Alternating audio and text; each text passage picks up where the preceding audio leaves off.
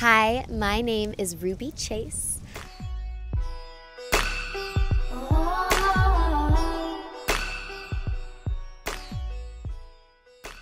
I'm here to tell you a little bit about Snake Charmer, where it came from, how the song came to be, how the music video came to fruition, and the process since then, and getting it to you. Camera. Rolling. And action. Play. Let's go.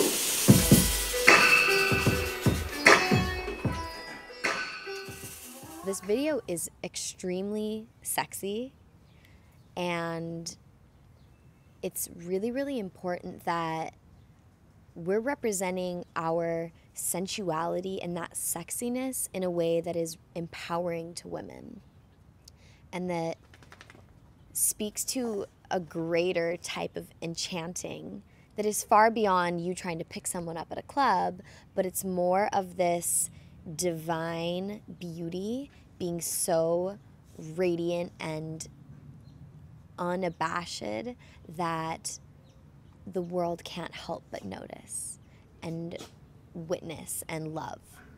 That's the energy that we were really going for. So during the video shoot, we had so many moments where we'd be in our heads and in choreography and we would just bring it into our bodies, bring it into our hearts. In silence, just allow yourself to attach yourself to one very clear image that represents the goddess that you are embodying. And it could be yourself, it could be a deity, it could be an angel type, it could be like whatever it is, but like one very specific image. We had been tossing around ideas about different video ideas, different concepts, and even we weren't so sure on which song was even going to be the one yet. Um, because at this point, I hadn't released anything yet. I was writing for a lot of big artists, trying to find my sound, working with a ton of producers. I call it producer dating because you really have to have the right chemistry with people to make that kind of music. And I had a catalog of about 60 songs that we were looking at. And one day I met up with my dear friend Kamala Mathis, and she had this back house in her backyard that they would rent out for Airbnb. And they were in the process of converting it into what it is now, which is called the Space Shift. And she asked me before I left, "Hey, do you want to check out check out our back house?" And so I went back with her, and when I walked in, I got total chills because it was the same environment as a vision I had had of the Snake Charmer video. Hold, hold, hold, move, move. On the other side of things, too, my boyfriend and his team of Rave Train are my total family, and they are incredible at producing videos. So I reached out to them around the same time and asked them, hey, would you guys be interested in doing my music video? And they were super enthusiastic and excited and just yes and down to do it all. So we got the pieces in the puzzle in order, set a date for March 5th, which was um, five days before my birthday, which was really exciting. And got all the last pieces in order to make this video a reality. Ceiling. Big wall here. The space shift as our location was so perfect in so many ways, and it also posed a lot of challenges. Um, the room itself is about the size of a garage, and in the video, it looks like we are in this total den, this place far away from the United States, far away from any civilization in this fantasy world. So we had the challenge of making a 10 by 13 room feel like an entire universe. So we had three setups, which were each wall, and we got in there two days before and started decoring. uh, there was a funny moment when me and the girls had kind of put things in a corner and made what we thought looked like a set. And Danny came in and looked at it. And he's like, What is that?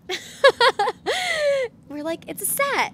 And he's like, This looks like, you know, a backdrop for, you know, it's like, it's not a picture, like, it's a video shoot. We have to create an environment, we have to create dimension.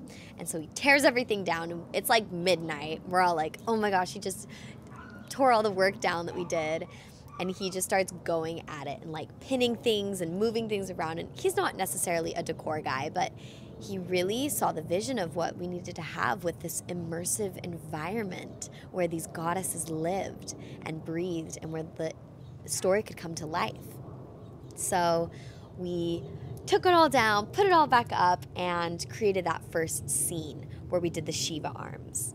Um, that was the goddess den. Then we had the second look, which was the girls where we did the dance number. And there we had a challenge of how do we get all of the girls in the frame while and be far enough back while we're in this tiny, tiny room and make it feel and look expansive. So that was another challenge, but we figured it out and we worked with medium shots and the two different cameras that we had. And the third setup was the chair. And that chair actually was already in the room. That's another thing that Kamala so generously let us dance with and use. And uh, the gold pieces were there as well. So we moved the chair in front of the gold pieces, and that that set really came to life. Um, the final piece for that scene as well was the headdress that I was wearing, which wasn't planned. The day of the shoot, Deb Rubin, who was the other belly dancer, it was me in the chair, and then Roxanne and Deb. She brought that headdress that day without knowing much of what this was besides that she was going to be belly dancing in the song. And she brought the headdress and she's like, Would you want to wear this in any of it? And that headdress is like a thousand dollar headdress. Like, that is so beautiful and such an antique piece. Um, and that last costume as well, I had never tried on with the headdress. So I put on that final outfit. We're about, you know, the last few hours into shooting, and I covered myself in glitter and I tried on the headdress, and it was like the magic moment of truly feeling embodied into that character. I felt like I was in a palace. Getting up, I know. it's a little like That's no transition point. It all really came together, and it was such a group effort. Every little piece that came together, every challenge that was brought, just made the video so much more than it started out as. In preparation to the music video, we really wanted to look and feel our best. And me and a lot of the girls in the video actually ended up doing a 10 day transformation leading into it, which is greens, superfoods, uh, a really healthy way to just like slim and cut and trim and feel our best. And so we used Purium products. We did the 10 day transformation, and the shoot was actually on day 10. So we were all feeling amazing, feeling our glowiest, and just ready to be on camera, which felt amazing, of course, because you work so hard for something. And then to feel really ready on shoot day was exactly what we could ask for.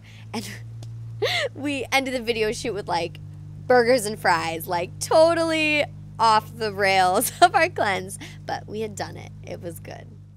The video is called Snake Charmer. It would not be complete without having snakes in it. So we started the search and we put out a memo on Facebook and asked our friends and family, you know, who out there has snakes? Is, and you can almost predict how they're going to hold on a little bit. So if I bring it here, he's obviously going to kind of like hold my neck a little bit tighter. Um, he likes to hold on a little bit. The snakes belong to Adelaide, who's a friend of ours. She's an amazing belly dancer. Her and her sister dance with the snakes all over the world. And their names are Vishuti and Misoko. Um, they are professional performing dancing snakes. That is what they do. That is what they they have grown up doing and refining. So their ability to perform really matched my ability to perform and it became this amazing relationship between me and the snake and the snakes at some times. The snakes were so magical. So many people watching the video were like, How are you not freaking out? You don't like snakes? No, uh-huh. no, no, snake guy. Working with the snakes actually really calmed me down. They're an extremely grounding presence, and even just having the weight and this other creature that I got to dance with gave me something to focus on that wasn't the cameras right in my face and the whole production around. It was really my relationship with this beautiful creature. Um, and it was an experience like I have never had before. It was so beautiful. So we had these amazing big nail pieces, which were glamorous and I feel like truly make the video. Um, but handling the snakes with the nails was a little bit treacherous at times. You have to be delicate with their scales and making sure you're moving with them. And there were moments for sure where I was trying to work it with the snake, but the fingernails were a bit in the way. I just want to be able to like really like dance with them, and I've been I'm like feel like I have to be really like But all in all, everything went really, really smooth that day. And it was a powerful reflection at the end of the day to get from Kamala, who is an amazing mentor of mine. And she's a total inspiration of a producer and just like a she boss. You know, she's amazing and powerful in her womanhood. And she gave me the reflection at the end of the day that this is the type of production that she wants to support and these are the type of people she wants to create with and that everyone was so kind and thoughtful and considerate and caring throughout the entire experience in her home which was really really really important to me so that was one of the biggest blessings of the entire day was just getting her praise and you know being able to feel really confident in my team as people and as creators. Turn it on, don't even have to try. Snake Charmer has been four years in the making. this has been quite a process, and it all began when I first had moved to LA. I went to this amazing rooftop party. They call it Meeting of the Minds. And I walked in and first thing, right off the bat, met Jordan Casty, who is this amazing performer and musician. And when we were talking and connecting, we both were doing the same thing. We're writing, we're creating. He asked me what kind of music I make. And I said, I make indie pop meets tribal bass. And he pointed to this guy on the couch and he goes, See that guy? That's Garrett Eaton. He's your new producer. And called it straight out. So I look over, I see Garrett, we start talking, and what I was looking for at the time was really someone that could embody organic elements with world sounds and weave it in that still could be mainstream enough. And we just clicked. The three of us started talking and really getting inspired.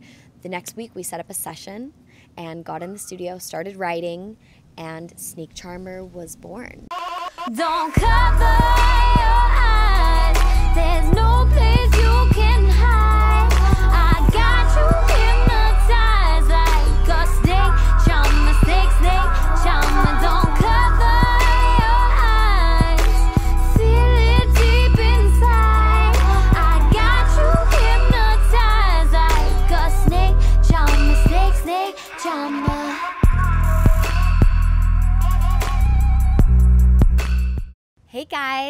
am Ruby Chase and welcome to my channel.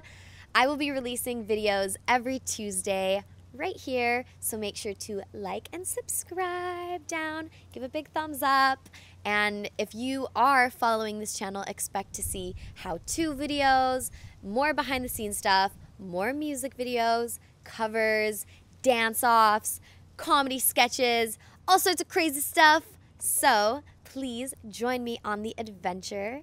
I'm so excited you're here and I cannot wait to share more with you.